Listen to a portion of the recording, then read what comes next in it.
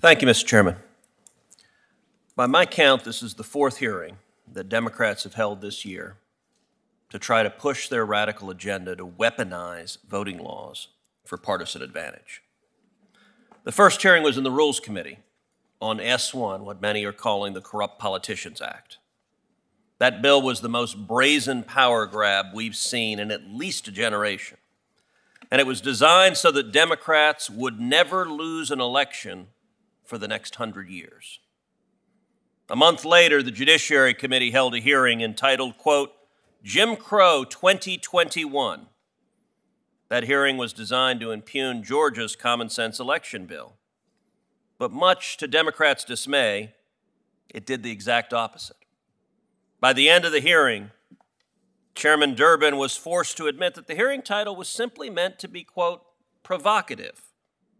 Why? Well, because the testimony showed that calling Georgia voter integrity efforts Jim Crow was offensive and had no connect connection to reality. Ironically, there is a connection to Jim Crow that is playing out in this Congress. The original Jim Crow laws were laws that were written by Democrats, designed to prevent the voters from voting Democrats out of office. And they worked brutally effectively. Now, in today's Democratic Congress, we again see Democrats wanting to change the rules so that the voters cannot vote Democrats out of office. There's a consistency to it, but it's not the consistency that fits the political narrative from the Democratic Party. Just recently, in July, this subcommittee held yet another hearing where Democrats argued for Congress to overturn two Supreme Court decisions Shelby County versus Holder and Brnovich versus Democratic National Committee. But the facts and the testimony at the hearing demonstrated that both decisions were indisputably correct. These hearings are having an effect on the national conversation, but not the one that the Democrats want. The more that Democrats talk about their voting bills, the less popular they become because people see them for what they are naked partisan power grabs. This hearing is ostensibly on practice based preclearance, and I expect that it will be no different. When it comes to election law, Democrats have failed to get their way in state houses across the country. State legislatures elected by the people have not been nearly as willing as Washington Democrats to try to rig the system so the voters can only elect Democrats. So now the solution from our Democratic colleagues is to circumvent the democratic process altogether. These pesky voters have a way of getting in the way of ensuring democratic power. And instead, to give unelected, far left bureaucrats total veto power over democracy. The power to stop popular voting laws dead in their tracks. That is, mildly given the Orwellian name practice based preclearance. Here's how it would work every state and local government across the country would have to submit on bended knee to Kristen Clarke and Vanita Gupta two of the most radical left wing Democratic activists to ever walk the halls of the Department of Justice, also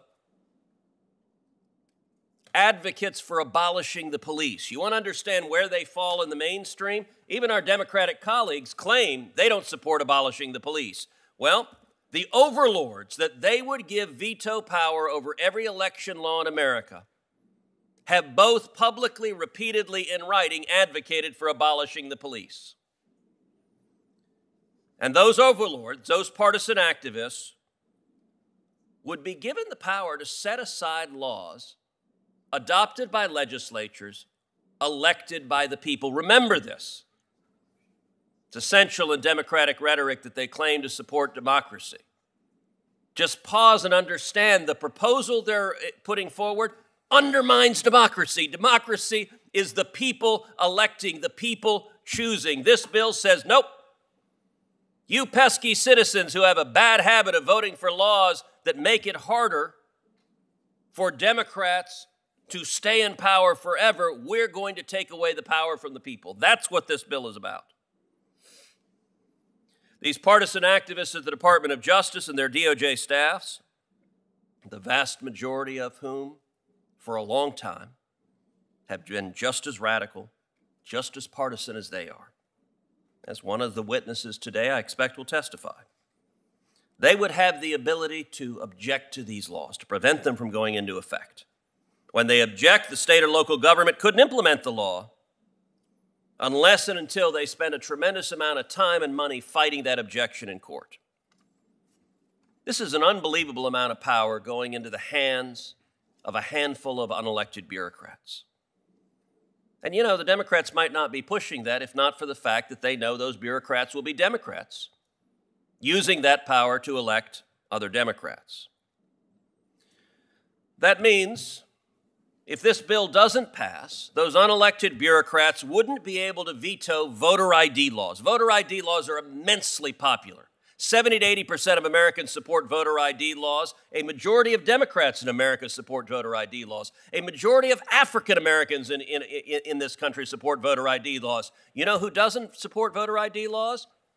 Every Democrat on this side of the aisle.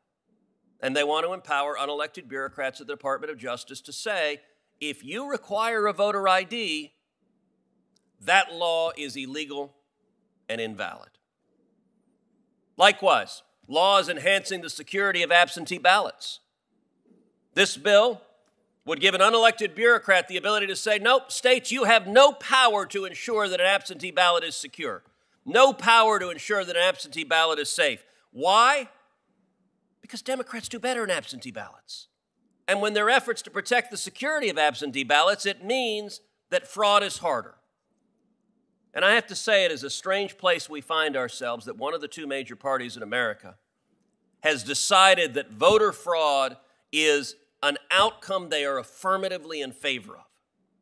This is all about giving unelected bureaucrats the ability to stop any and all reasonable voter integrity laws. One final example H.R. 4, the bill that this hearing is discussing, would require a state to pre clear any law changing the way it maintains its voter rolls. Now, the Carter Baker report, who are, who are Carter and Baker? That would be Jimmy Carter, former Democratic president of the United States, and James Baker, former Republican Secretary of State. They did a, led a comprehensive commission on voter fraud. Today's Democrats insist voter fraud doesn't exist. Carter Baker conclu- Commission concluded voter fraud was a serious problem and had a whole series of recommendations. And one of the amazing things, if you go through the Carter Baker Commission, look at their recommendations for how do we enhance the integrity of elections, what today's Democrats have done is just flipped everyone on its head. Okay, if our objective as Democrats is to detract from the integrity of elections, let's do the opposite of what Democratic President Jimmy Carter suggested. So, the Carter Baker Commission, for example, made clear that fraud, quote, arises from inactive or ineligible voters left on voter registration lists, and further that, quote, the process of up, update, updating the list should be continuous. Our friends in the Democratic aisle said, well, gosh, we certainly don't want lists with dead people. That would really undermine the integrity of elections. Then you would expect them to say, that seems like a good idea from former Democratic President Jimmy Carter. But no, no, they say if you want to update the list in any regard, if you want to remove dead people so people can't vote in the names of people who have gone to the, the life hereafter, well, you got to get Kristen Clarke and Vanita Gupta to sign off on. This is all about political power. And it is about political power at the expense of the people and at the expense of democracy. It is cynical and it's wrong.